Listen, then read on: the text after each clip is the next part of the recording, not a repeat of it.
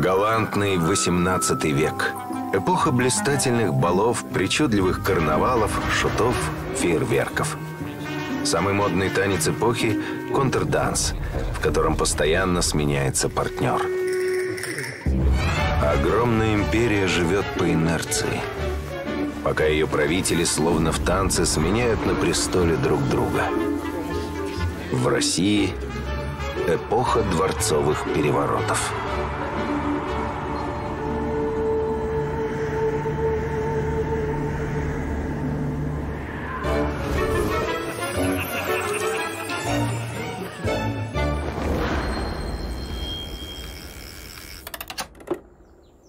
1727 год.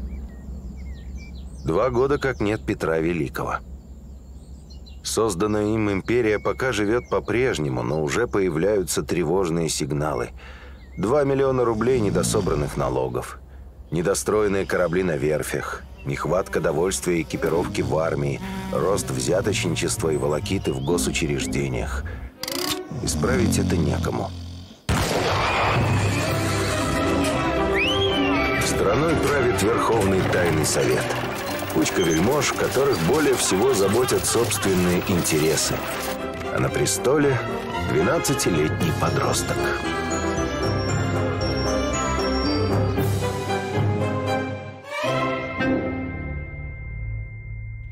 Петр II – сын царевича Алексея Петровича и немецкой принцессы Софии Шарлотты Брауншвейг-Вольфенбютельской, внук Петра I.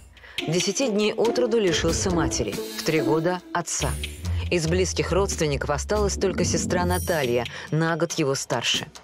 Носил титул великого князя.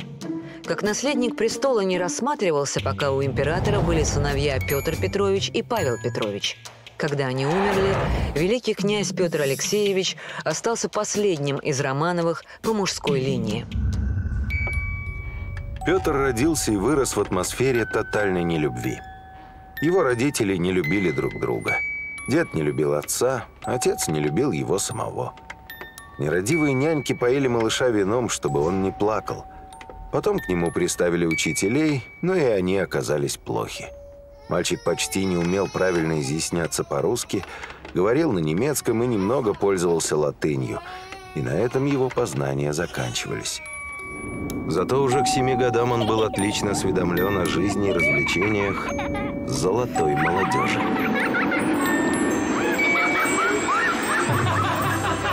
Юный Петр не проявлял интереса ни к армии, ни к флоту, ни к наукам, вообще ни к чему, кроме развлечений.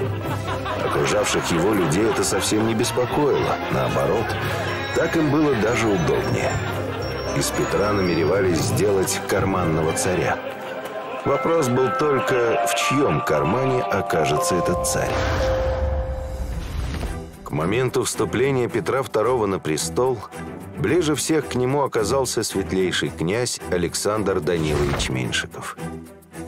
Именно он, близкий друг и сподвижник великого Петра и его вдовы Екатерины, был на тот момент самым влиятельным человеком в империи. Меньшиков убедил умирающую Екатерину – которая была ему обязана собственной властью, подписать завещание, по которому наследником становился великий князь Петр Алексеевич. Но с условием. По достижении совершеннолетия Петр должен будет жениться на дочери Меньшикова. И тогда могуществу Александра Даниловича не будет пределов. Мнением малолетнего жениха никто, конечно, не поинтересовался. Вскоре после коронации 12-летний Петр официально обручился с 16-летней Марией Меньшиковой. Невеста императора получила титул «Ее императорское высочество» и годовое содержание в 34 тысячи рублей. Петр II не выказывал особой любви к своей нареченной. В письмах он называл ее каменной статуей и фарфоровой куклой. Сразу после обручения Меньшиков поселил юного царя в своем дворце на Васильевском острове, чтобы оградить от нежелательного влияния. Представил учителя, барона Андрея Ивановича Стермана, он же вице-канцлер, то есть заместитель министра иностранных дел. Но уроки императора продолжались недолго. Меньшиков внезапно тяжело заболел. Оставшийся без его надзора Петр быстро сблизился с молодым повесой, князем Иваном Долгоруковым, и забросил занятия. Меньшиков проболел полтора месяца.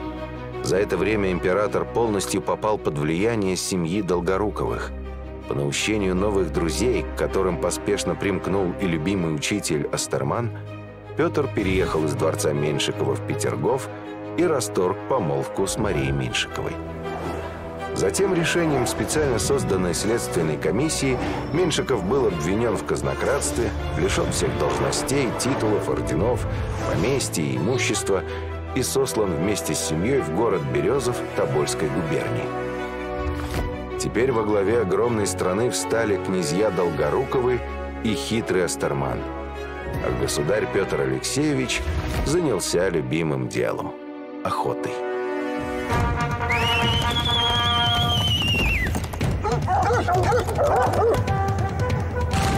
В отличие от своего прадеда Алексея Михайловича, страстного любителя соколиной охоты, Петр охотился бессистемно и бездумно. Ему было неважно, как и кого загонять. Главное, куда-то скакать с шумом и гиканьем, в окружении охотников, друзей и собак, а потом шумно отмечать в походном шатре очередную удачную гоньбу.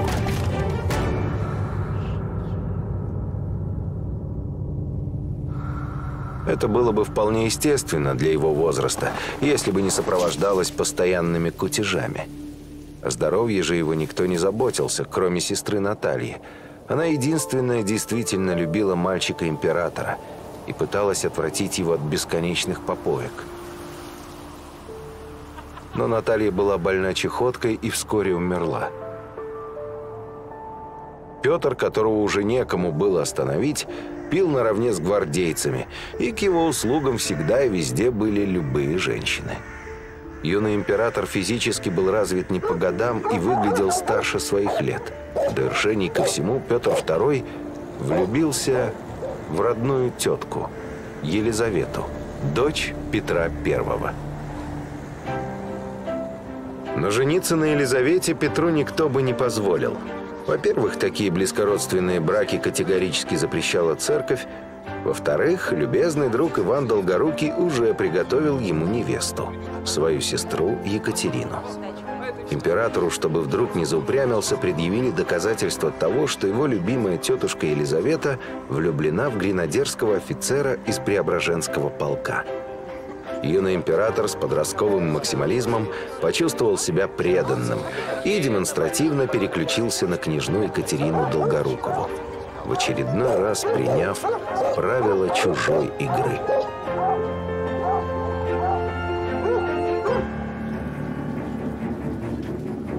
А пока при дворе занимались амурами, огромная страна жила сама по себе, практически без управления – Финансы находились в полном расстройстве, в армии началось разложение, международный престиж России падал катастрофически.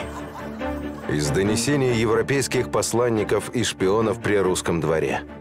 С Россией теперь нет никакого смысла заключать союзнические отношения. Царь думает исключительно о развлечениях и охоте, а сановники о том, как бы сгубить один другого – все живут здесь в такой беспечности, что непонятно, как такая огромная машина держится без всякой подмоги. Огромный государственный аппарат работал по инерции. Центрального управления не было. Даже Верховный Тайный Совет почти не функционировал. Верховный Тайный Совет был создан еще Екатериной I, чтобы помогать ей управлять империей, а точнее править вместо нее – официально считался совещательным органом при монархе. На самом деле решал важнейшие государственные вопросы. При Петре II членами Верховного Совета были шесть вельмож. Граф Гаврила Головкин, два князя Голицыны, Дмитрий и Михайло, два князя Долгоруковых, Василий Владимирович и Василий Лукич, и барон Андрей Астерман – 14-летний Петр понятия не имел, в каком беспорядке находились дела в его стране.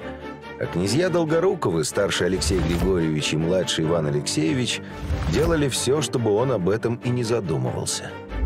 У них была четкая цель – полностью подчинить императора своему влиянию, чтобы с его помощью развернуть страну обратно к допетровским порядкам. Петр уже согласился остановить строительство флота. Зачем зря тратить деньги? Перенести столицу из Петербурга в Москву. Вокруг Москвы отличные места для охоты. Оставалось всего несколько шагов. 19 ноября 1728 года княжна Екатерина Долгорукова была объявлена невестой императора. Уже через 11 дней состоялось торжественное обручение. Невесте едва успели сшить платье. Въезжая во дворец, роскошная карета невесты зацепилась за низкие ворота – и на глазах зевак и стоявших в карауле гвардейцев с ее крыши в грязь упало позолоченное украшение. Императорская корона. За полтора месяца до свадьбы, чтобы император не успел опомниться, его непрерывно глушили празднествами и развлечениями. И вот 6 января, за 13 дней до свадьбы, Петр отправился на водосвятие на Москве-реке стоя как верный рыцарь на запятках саней своей невесты. В крещенские морозы он провел четыре часа в легком камзоле. На следующий день император слег в горячке. Сначала думали простуда. Но вскоре выяснилось, что все гораздо серьезнее. Оспа.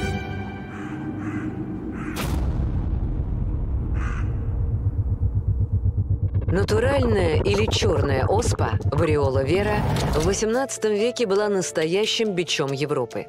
В отличие от холеры и чумы, оспа не появлялась как эпидемия, а существовала постоянно.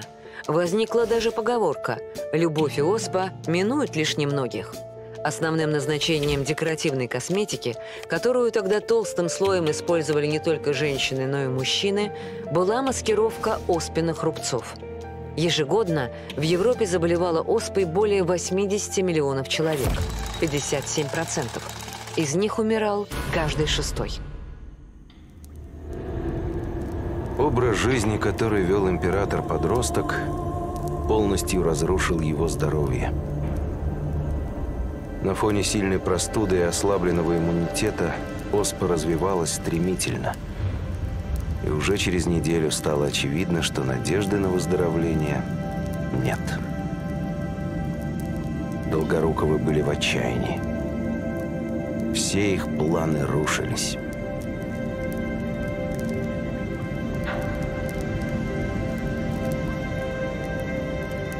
И пока император умирал в Лефортовском дворце, уже украшенном для свадьбы, его друзья Долгоруковы заседали по соседству – судорожно придумывая, как ему держать власть. Решено было подсунуть императору на подпись завещания, по которому престол передавался государыне-невесте, великой княжне Екатерине Долгоруковой. Если бы эта афера удалась, в России сменилась бы правящая династия. Вместо Романовых – Долгоруковы. Но подписать завещание император не успел. 18 января Прямо накануне своей свадьбы он вдруг пришел в сознание, сказал «Запрягайте сани. Хочу к сестре». И началась агония.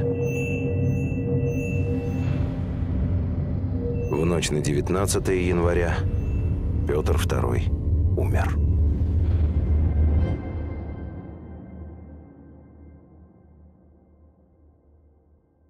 Тайный совет, восемь вельмож, которые решали важнейшие государственные вопросы, с возмущением отверг аферу Долгоруковых.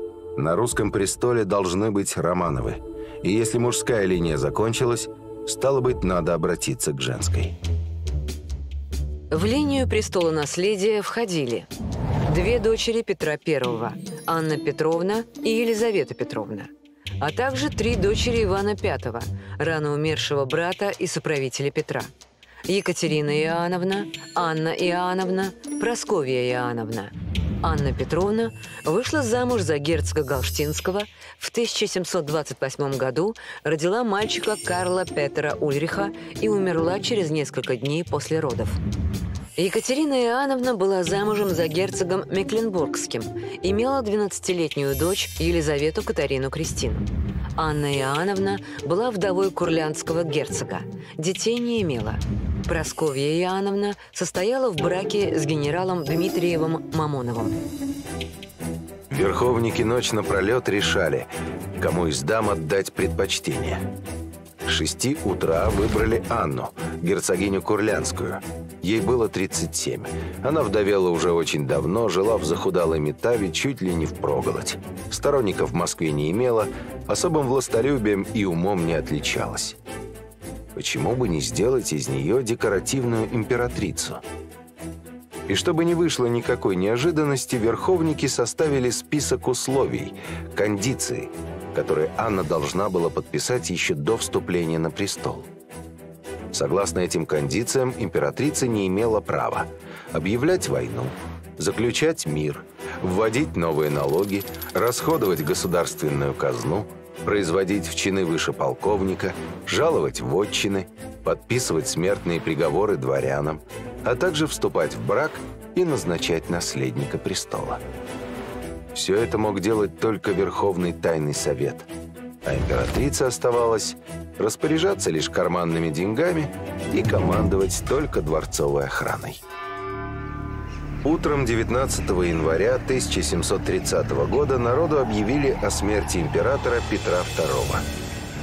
В это же время из Москвы в Метаву отправилась делегация. Через 9 дней Анна Иоанновна поставила свою подпись под текстом кондиций. С этого момента в России менялся общественный строй. Вместо самодержавия – олигархия. Анна прибыла в Москву. Ее встретила гвардия, преображенцы. Анна тут же объявила себя шефом Преображенского полка, дала аудиенцию офицерам. И узнала много нового и интересного. Оказывается, в Москве все были весьма возмущены кондициями. Никого не устраивал переход власти в руки нескольких аристократов.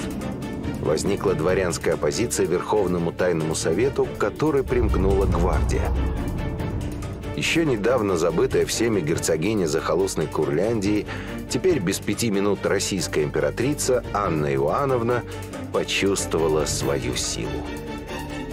И, собрав в аудиенц-зале гвардию и всех верховников, торжественно разорвала поднесенные ей кондиции.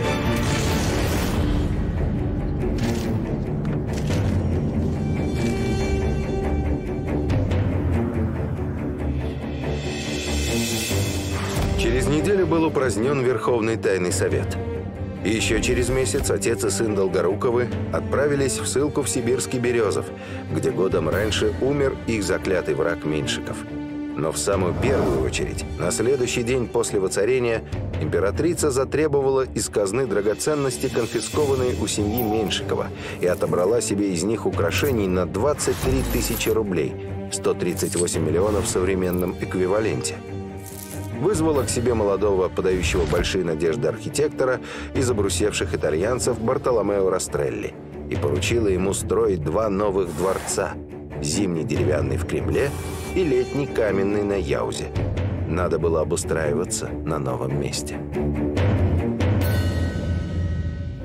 Следом за Анной Иоанновной в Москву прибыл ее камергер Эрнст Берон. Курлянский дворянин Берон был фаворитом Анны – она жила с ним как с мужем, совершенно не смущаясь тем обстоятельством, что Берон женат и у него трое детей, а младший сын Карл Эрнст, по всей вероятности, был рожден самой Анной, и поэтому она взяла мальчика с собой в Москву. А чуть позже приехала официальная жена Берона со старшими сыновьями, и все вместе они составляли странную, но дружную семью новой российской императрицы. Распорядок дня Анны Иоанновны. Около восьми утра она пила утренний кофе, с девяти до десяти работала, принимала министров, подписывала указы. Затем в манеже с Бероном занималась верховой ездой. Около полудня обедала вместе с Бероном, его женой и детьми. После обеденный сон занимал около часа. Все остальное время посвящалось развлечениям. Анна Ивановна часами глазела в окно или играла в карты с придворными, или просто слонялась по дворцовым комнатам. Возле каждого окна во дворце было приготовлено заряженное ружье, чтобы императрица могла в любой момент выстрелить в пролетающую мимо ворону. Она стреляла не только по воронам. Она часто ездила на охоту и поднимала на рогатину медведей. Развлечениям при дворе уделялось особое внимание. Начали ставить итальянские спектакли, оперы, комедии дель арте. Возникла первая в России балетная школа. Но в то же время Анна любила наблюдать за драками шутов и карликов.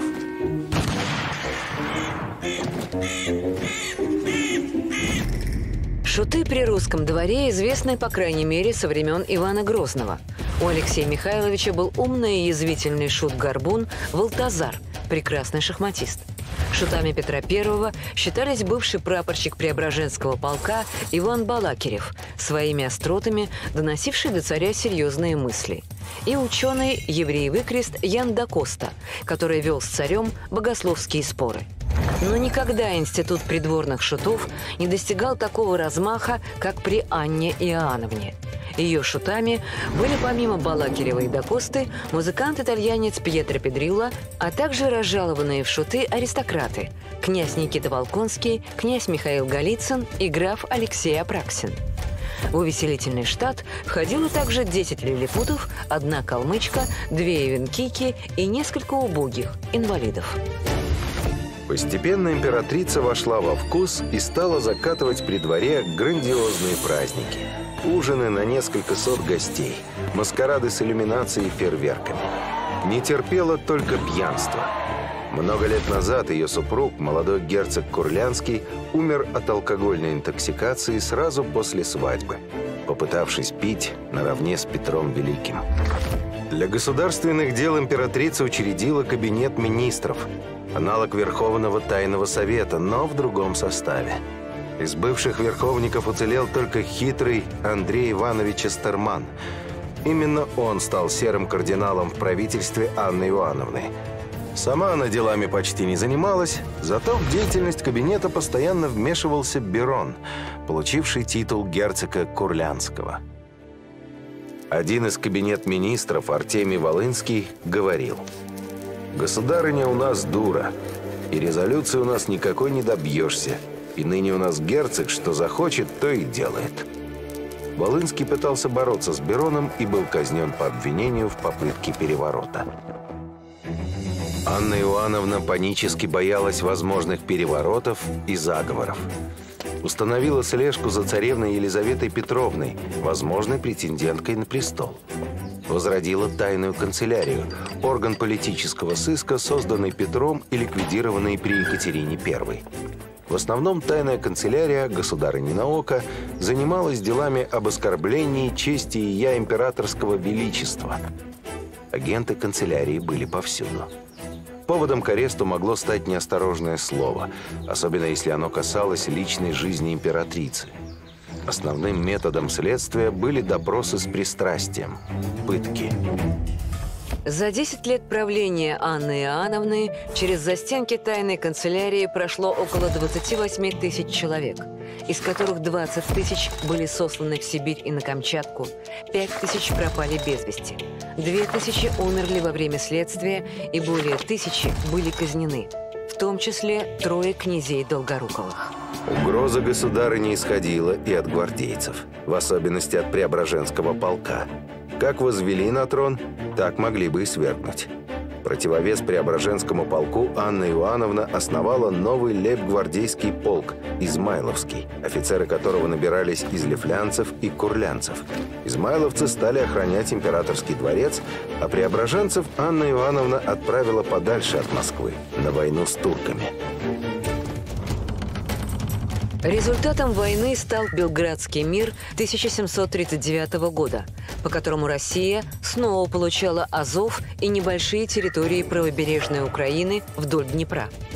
При этом не имела права держать ни военный, ни торговый флот на Черном и Азовском морях. Потери русской армии составили 46 тысяч человек. Из них в бою погибло около 6 тысяч и 40 тысяч из-за плохой организации переходов – от жаркого климата и дурной воды, как было доложено, императрица. Анна Иоанновна не пожелала вникать в происходящее. Она была очень рада, что четырехлетняя война наконец закончилась. Императрица занималась переездом из Москвы в Петербург. В Москве в 1737 году случился страшный пожар.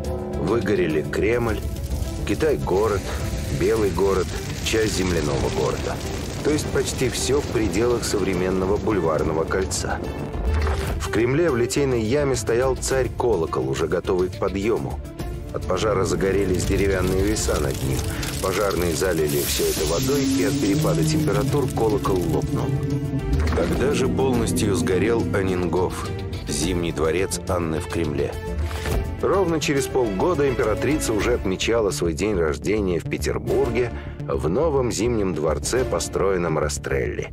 138 парадных апартаментов, украшенных позолоченной резьбой, лепниной и живописными плафонами. Годовая смета расходов при Анне Иоанновне. На содержание царского двора 260 тысяч рублей, полтора миллиарда в современном эквиваленте. На конюшне герцога Берона 100 тысяч рублей, 600 миллионов. На мелкие личные нужды императрицы 42,5 тысячи рублей, 255 миллионов. Почти столько же, сколько на булавке Анны Иоанновны тратилось на содержание Академии наук с типографией – около 47 тысяч рублей, 282 миллиона современными деньгами. И в 10 раз меньше на народное образование – 4,5 тысячи рублей, 27 миллионов. Самой дорогой и грандиозной забавой императрицы стала свадьба шутов в ледяном доме. По прихоти Анны Иоанновны ее шут 53-летний князь Михаил Голицын женился на придворной калмычке 20-летней Авдотьи Бужениновой. Этот праздник обошелся казне в 30 тысяч рублей.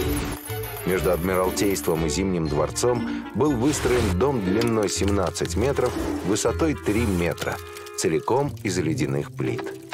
Впереди дома стояло шесть ледяных пушек и две мортиры. У главных ворот два дельфина и слон, из пасти которых била горящая нефть. Все внутреннее устройство, включая мебель и посуду, тоже было сделано изо льда. Перед свадьбой по улицам города под звуки рожков и балалаек прошло маскарадное шествие, для которого со всей страны были свезены представители разных народов, от немцев до украинцев. Несчастные жених и невеста ехали в особой клетке, установленной на слоне. После свадьбы их оставили в спальне ледяного дома под охраной гвардейцев.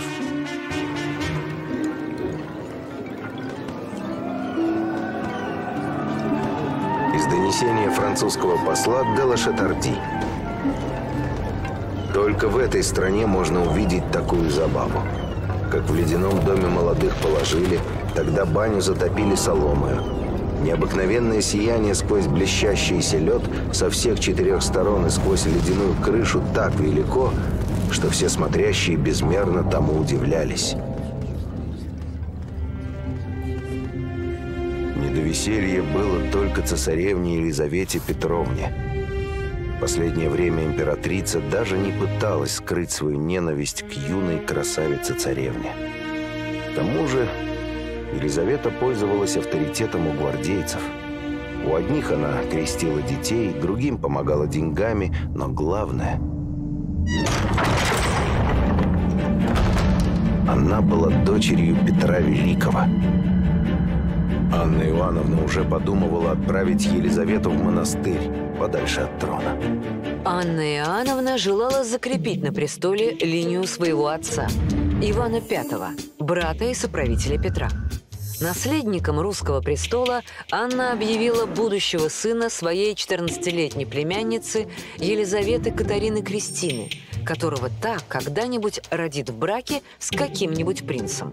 Девочка приняла православие с именем Анна Леопольдовна. В 20 лет ее выдали замуж за герцога Брауншвейгского Антона Ульриха, специально вызванного в Россию. И вскоре у пары родился сын Иоанн Антонович. Едва августейшему младенцу исполнилось два месяца, Анна Иоанновна вдруг сильно заболела. Из-за увлечения верховой ездой обострилась ее давняя почечно-каменная болезнь. Началось воспаление, и спустя всего две недели после первого приступа, 17 октября 1740 года, 47-летняя Анна Иоанновна умерла. Перед смертью она подписала завещание, по которому регентом малолетнего императора Иоанна Антоновича назначался герцог Курлянский Эрнст Иоганн Берон. В народе Анна Иоанновна оставила о себе недобрую память. Время ее правления считается мрачным и тяжелым. Шуты, немцы и тайная канцелярия. Однако именно при Анне Иоанновне начал складываться тот образ Петербурга – который существует сейчас. Петропавловский собор, здание 12 коллегий, кунсткамера, первоначальный вариант Адмиралтейства с высоким шпилем, а также основная часть фонтанов и скульптур Петергофа. Все это было создано в 30-е годы по проектам великих итальянцев Растрелли и Трезини. Тогда же в России впервые появился итальянский музыкальный театр. Типография Академии наук издавала регулярную газету «Санкт-Петербургские новости» и первые русские журналы. Комментарии Санкт-Петербургской академии наук, ежемесячные исторические и географические приложения к ведомостям. Уже писали свои оды Тредяковский и молодой Ломоносов. Правда, императрица сама всем этим не особенно интересовалась. Ей по душе были забавы попроще. И сама она была, по большому счету, обычная помещица Анна Ивановна – которую случайно занесло на престол Российской империи. Спустя две недели после ее смерти все заведенные ею придворные порядки и выстроенные планы рассыпались, как карточный домик. Герцог Курлянский, Эрнст Иоганн Берон, бывший всесильный фаворит императрицы Анны, в роли регента при императоре-младенце не устраивал никого. И в дело опять вмешалась гвардия. В ночь на 9 ноября 1740 года фельдмаршал Бурхард Кристоф Миних с 80 гвардейцами двинулся к Зимнему дворцу, занял все входы и выходы и послал своего адъютанта Манштейна захватить Берона. По рассказу Манштейна герцог спокойно спал. Когда его разбудили, он попытался спрятаться под кроватью, но солдаты тащили его наружу.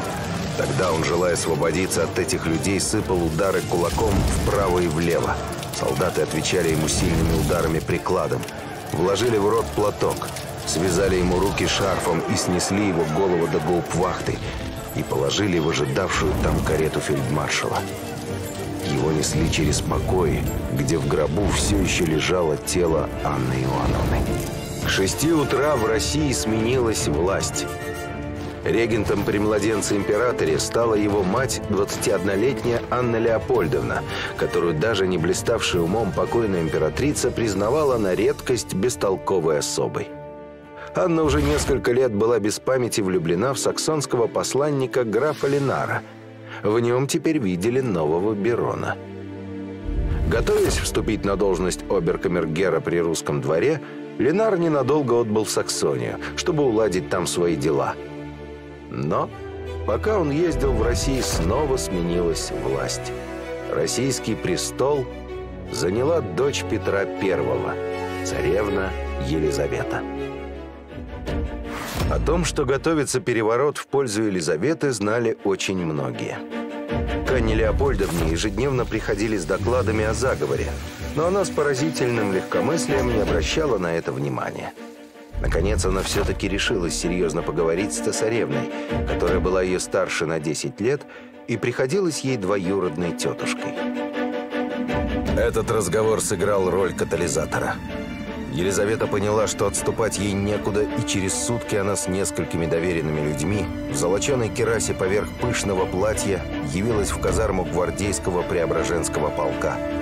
«Помните ли вы, чья я дочь?» – спросила Елизавета. Готовы ли умереть за меня? Готовы, матушка, восторженно заревели гренадеры. Итак, Елизавета отправилась на штурм Зимнего. Однако штурма не получилось. Дворцовый караул перешел на сторону дочери Петра Великого. Елизавета вошла в спальню Анны Леопольдовны со словами «Сестра, пора вставать». В спальню младенца Иоанна Антоновича были посланы гвардейцы – Новая императрица строжайше запретила им будить ребенка. Сама взяла его на руки, поцеловала и сказала. «Малютка, ты ни в чем не виноват». Что с ним делать в тот момент не знали. Так, с ребенком на руках, Елизавета из Зимнего дворца поехала в свой дворец.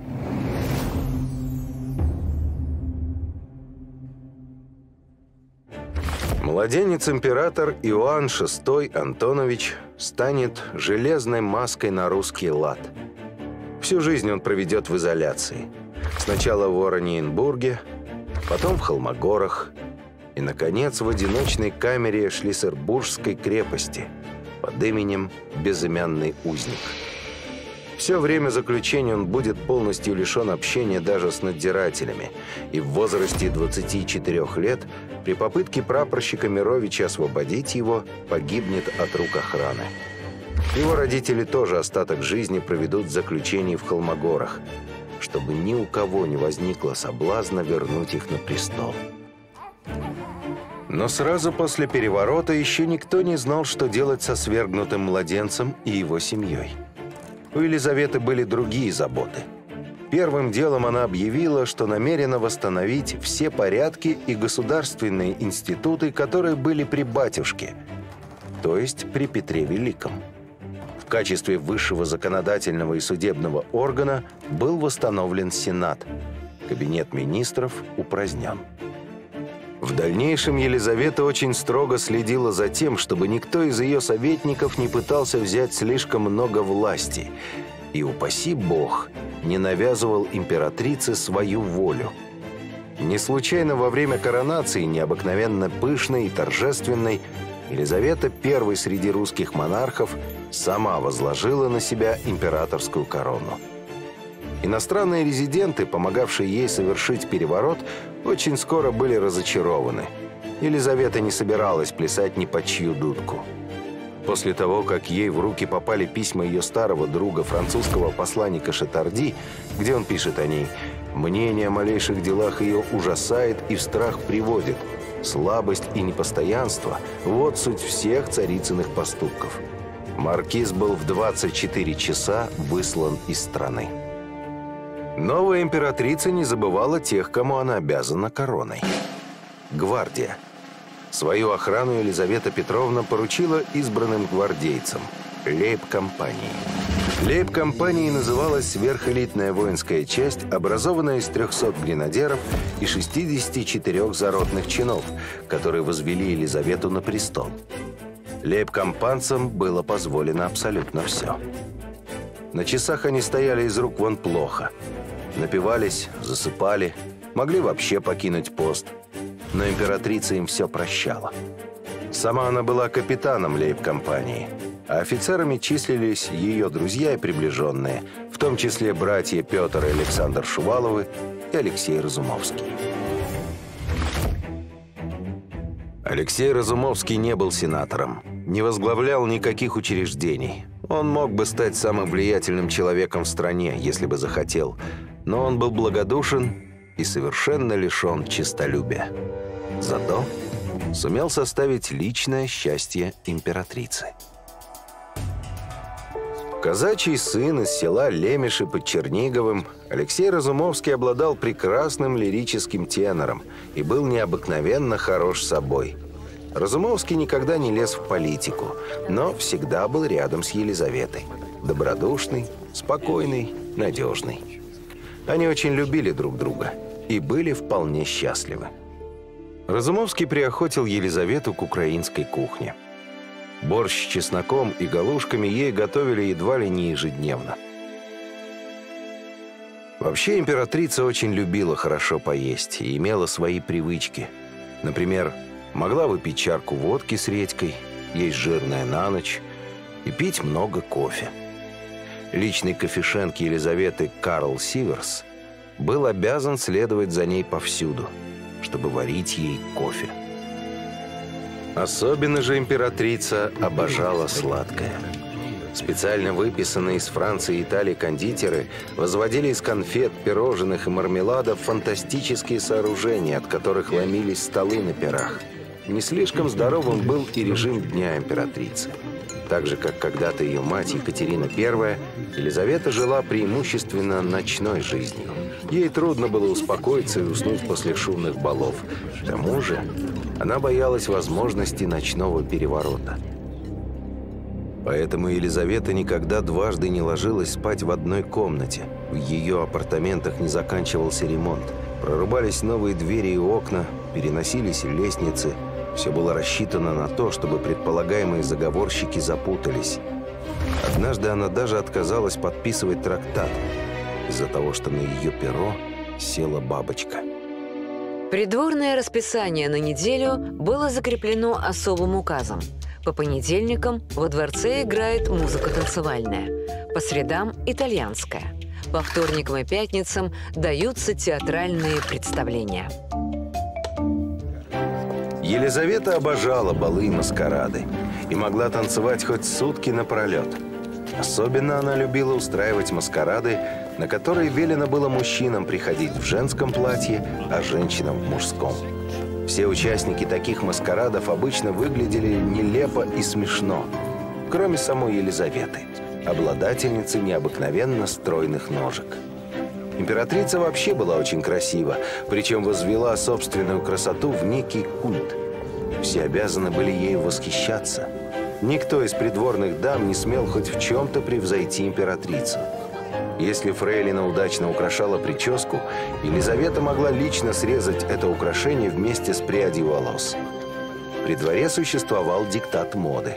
Императрица регулярно издавала особые установления, в чем следует являться на балы и праздники с указанием фасонов, цветов и отделки. Все торговцы, привозившие из-за границы дорогие ткани, обязаны были в первую очередь показывать их Елизавете, чтобы она могла отобрать самое лучшее. Платье она никогда не надевала дважды и часто меняла наряды по нескольку раз за вечер.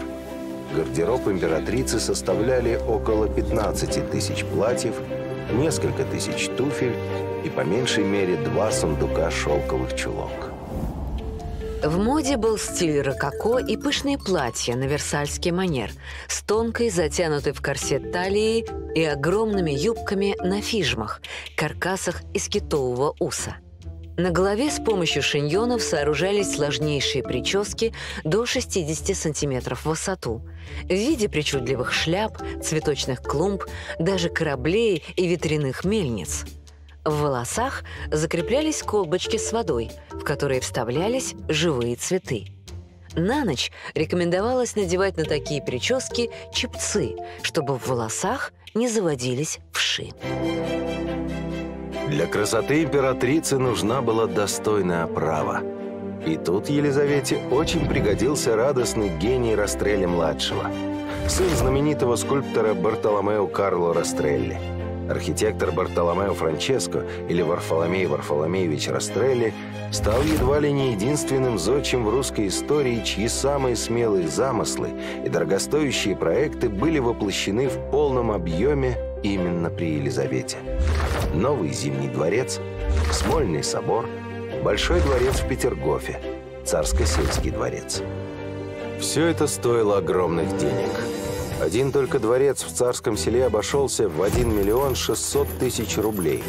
9 миллиардов 600 миллионов на наши деньги. Налоги доходили до казны только в половинном размере. Остальное раскрадывалось чиновниками. Катастрофически не хватало монеты. Чеканный станок работал не прекращая. Подданные не верили в спокойное житье и поэтому прятали серебряную монету в кубышке – Каждый год приходилось ее дочеканивать, но она уходила как в песок. На руках скопилось до 54 миллионов, но их не пускали в оборот. Боялись. Целые отрасли, например, соляное дело, невероятно доходное по тем временам, ибо соль была единственным консервантом для продуктов, отдавались в монополии крупным вельможам, таким как Петр Шувалов. Невероятные размеры приобрела коррупция – при Елизавете практически все министры состояли на параллельном жаловании иностранных дворов. Наиболее известны поборами союзников канцлер Алексей Петрович Бестужев-Рюмин и вице-канцлер Михаил Илларионович Воронцов, который, по словам молодой Екатерины II, продавался первому же покупщику. Сама государыня, нуждаясь в деньгах, охотно подписывала так называемые субсидные конвенции, о чем часто сообщали своим дворам дипломаты. Согласно этим неравным договорам, Россия вступала в ту или иную войну на стороне того, кто предлагал ей субсидию, но не имела при этом права участвовать как сторона в мирном договоре, что очень обижало Елизавету. Елизавета Петровна подписала указ об отмене смертной казни – Целое поколение выросло в стране, где не применялась смертная казнь, и кнут не мог коснуться благородного. Первое поколение непоротых дворян. Медленно, но верно развивалась внутренняя торговля. Появились первые банки, предоставляющие желающим кредиты под 6% годовых. Количество промышленных предприятий увеличилось в 4 раза – Одного чугуна выплавлялось 2 миллиона пудов, в полтора раза больше, чем в Англии. И больше половины железа продавалось на внешнем рынке. Население страны увеличилось за четверть века на 5 миллионов.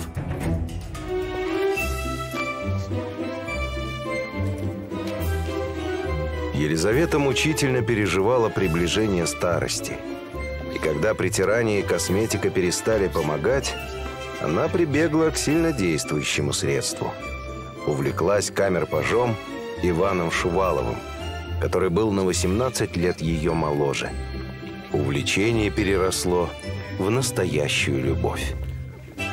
Разумовский все понял одним из первых, и без скандалов и выяснения отношений тихо удалился в одно из своих имений. Новый фаворит оказался под стать старому – был спокоен, кроток и добродушен, абсолютно предан своей императрице.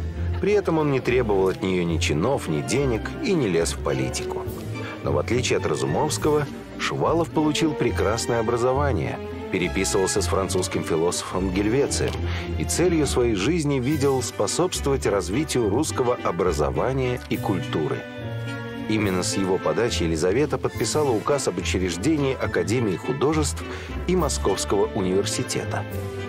Но жизнь веселой императрицы состояла не только из балов, праздников и изящных спектаклей. У нее было одно серьезное, очень модное тогда увлечение – внешняя политика – в сороковые годы воинственный король Пруссии Фридрих II захотел играть ведущую роль в европейской политике и диктовать остальным свою волю.